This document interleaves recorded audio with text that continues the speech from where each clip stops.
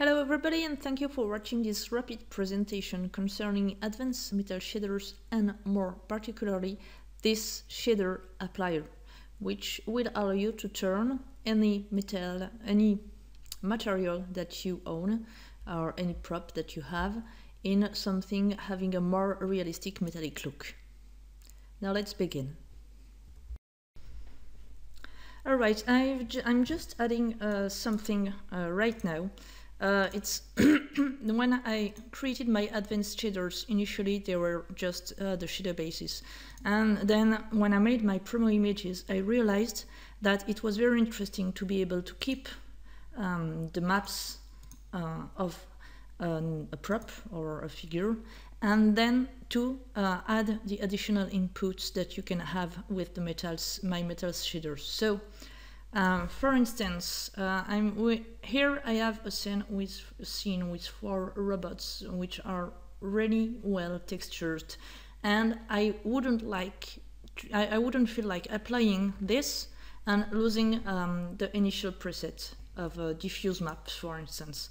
So what I'm going to do is um, I have only four lights, um, four infinite lights for lighting. Okay, it is not a very ev evolved lighting. So I can make a first render and they are really, really beautiful. And they are already a metallic aspect is essentially due uh, to the texture which has which presents the defects of metallic textures. But we can, for instance, take all of them. Uh, what I'm how I'm going to do this? I can okay. I can select all my cambots and go in surfaces and select all my cambots, okay? And now apply for everybody the shader base. This is this thumb, which will allow you to transform, okay, your props into something having a much more metallic look. And um, I'm not sure that I have saved my previous image so that we can compare. And the advantage of uh, using this one is that you won't lose um, your diffuse, your ambient and your bump maps. Okay, I wait till the end of the render. I close and uh, I'm going to undo everything and render how it was without uh, applying the, um, the metal shader base, okay? The render is faster, and if we compare the two last renders, 8 and 9, you see that the oh it's it's slow it, it's very different i'm gonna i'm gonna make a toggle okay and here you have something with a more um, metallic look than here which is a very um, um, let's say how um, low highlight metals. And this is strong highlight metals. Uh, we can I accept we can adjust um, the parameters of the highlights. Uh, for instance uh, by just using presets um, we can go for instance to a pretty lower highlights I think and more with more spread on the highlights. Okay. Oh I have I'm not sure I have re-included my should no I had not re-included it. So I'm going to this one. I have a small problem with my control key. No the highlights are bigger Maybe I should reduce uh, the size of the renders uh, because I'm about it. They might, it might be slow if I want to compare the images. Okay, let's let's have a change at that. Uh, 500 and one to go fast. Okay, the rest should be okay. Okay, this one is much faster. So you have, for instance, this kind of rough, rough spread, okay? And you can go for something very much larger. I hope it has been applied. Uh, let's have a look at the specular uh, gloss um, spread. Okay, spread is very large. So now on your render, okay, and now th this is a much more large um, highlight. And you can go, this is an extreme setting, okay, for really small shiny um, shiny dots. And you can of course reach all uh, the states. Uh, for instance I'm going to use, just this one. And I want to change my um, let's say let's say let's say so it's in specular um, I want to have something okay more large. I'm going to try this.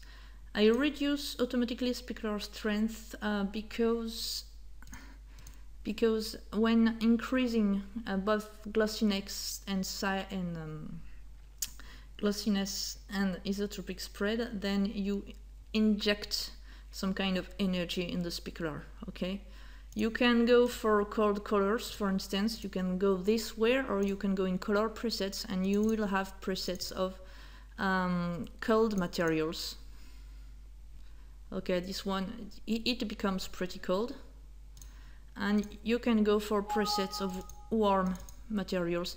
This applies to the base, diffuse, ambient, and so on. And this applies to the reflection, ray tracing, and things like that. And now you have a very warmer uh, robot.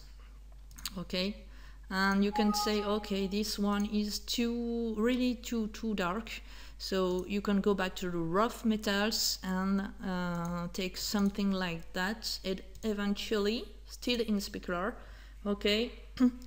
Oh, the limit I fix is 17, 70 sorry, percent um, above 70 it's gonna be more focused and below 70 it's gonna be more spread. And for this one the limit I set is 0.1 uh, above 0.1 it's going to spread very very fast and below it going it's going to focus. So now when you play here you're, you're focusing your highlight. When you play here you're spreading your highlights and on the contrary here you're focusing. And but in a different way for both okay? So that allows you to shape more um, to shape more your your spread. So here I'm going to spread spread a, a lot. I'm going to reduce my specular because I'm I'm increasing my size so I'm increasing my energy. And now the body is uh, less dark but maybe you can find it still a little bit too dark, but the, highlights are pretty okay. So in this case, you can increase your ambient or your ambient color. That's the way you want. And increase a little bit also your diffuse and your diffuse color. Okay, and the map would be more visible. Okay, and now it's clearer.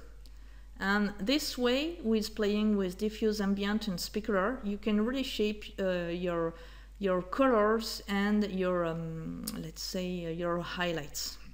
Okay the two last uh, we can also play with them. Uh, this one can be purely map based uh, reflection. I'm gonna apply this on the legs too. And I, I, I, remember there is a body too. Uh, where's the body too? It must be this one. Okay. Render and render and now it's becoming really uh, metallic and it's losing a part of uh, its diffuse because in this preset the diffuse component is pretty low. And but we can counter that okay?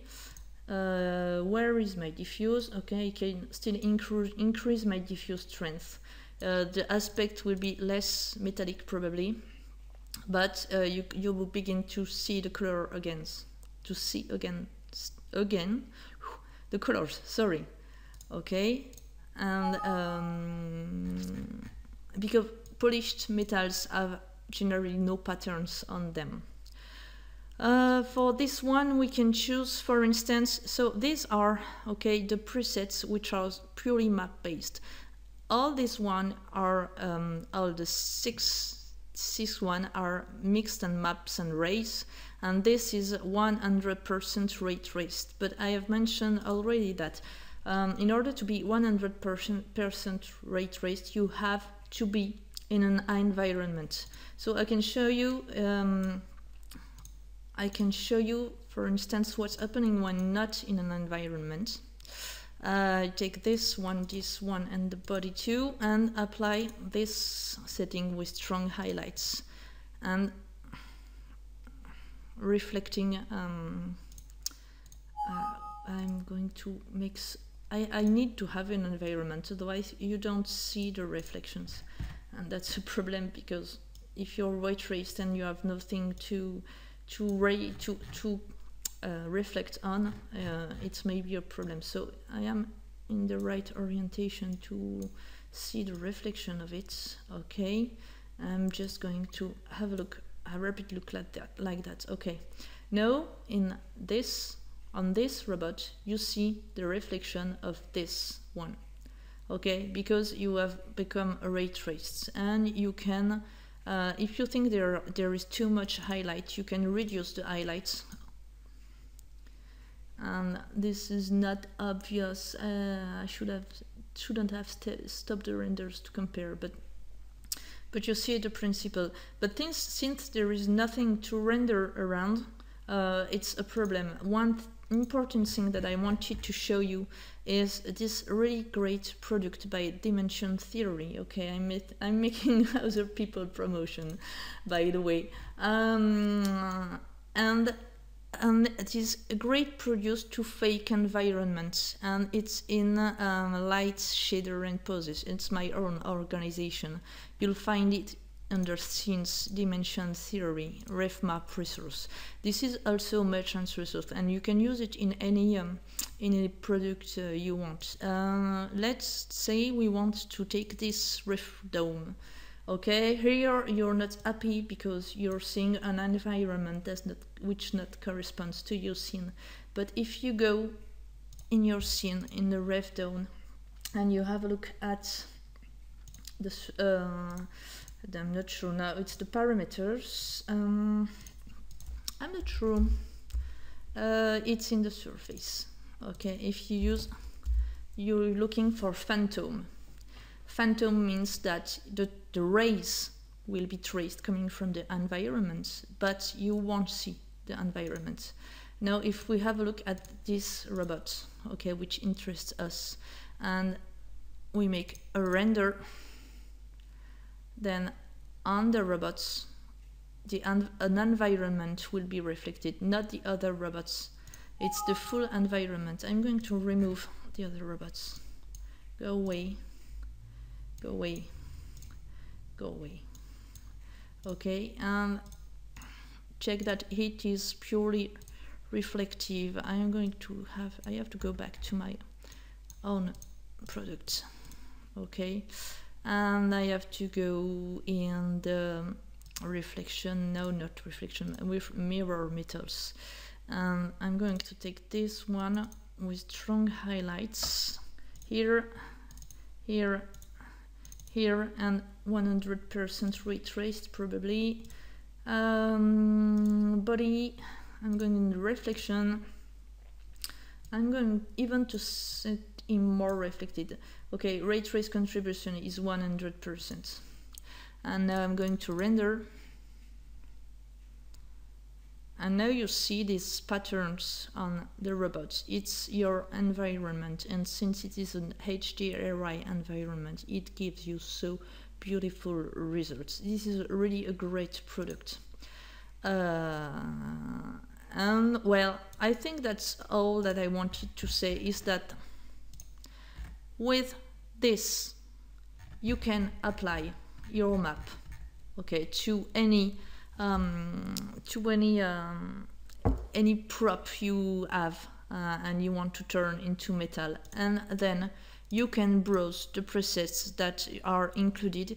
It generally works fine. If you want you can also increase ambient or diffuse uh, in order to see better your maps. But generally it's just sufficient except when you're beginning to be strongly ray tracing because I have I had generally to reduce the diffuse contribution in order to have something more um, imaging more uh, more acting like a mirror. Okay and uh, well it works uh, with um, any prop which is based on DAZ um, on DAZ default uh, materials, so uh, almost any props. That's all for this part concerning how to um, how to use uh, this shader applier and um, I hope that now uh, I will see many props turned into metals.